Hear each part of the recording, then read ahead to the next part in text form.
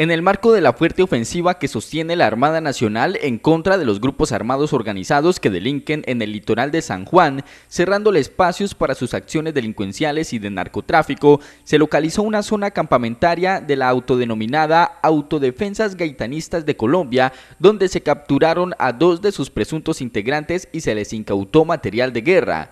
Los hechos se registraron en el corregimiento de Carrá, municipio del litoral de San Juan, en el departamento del Chocó, donde fue capturado un hombre de 18 años de edad, quien al parecer estaba custodiando el lugar y tenía en su poder un fusil AK-47, material de guerra e intendencia. Posteriormente fue capturado otro sujeto de 35 años, quien al parecer era empleado por esta estructura delincuencial para intimidar a la comunidad. Al sujeto le fue incautado un fusil AK-47 y material de intendencia.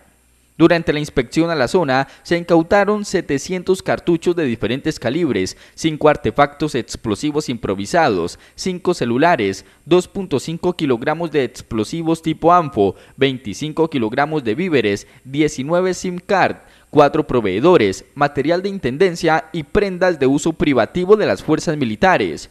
Los capturados juntos con el material de guerra incautado, intendencia y comunicaciones fueron trasladados hasta Buenaventura para realizar el proceso judicial ante las autoridades competentes. A esta hora en la zona, las tropas de la Brigada de Infantería de Marina número 2 adelantan operaciones de registro en el lugar para dar con el paradero de los otros presuntos delincuentes de las autodefensas gaitanistas de Colombia que se encontraban en el lugar y al parecer huyeron al notar la presencia militar.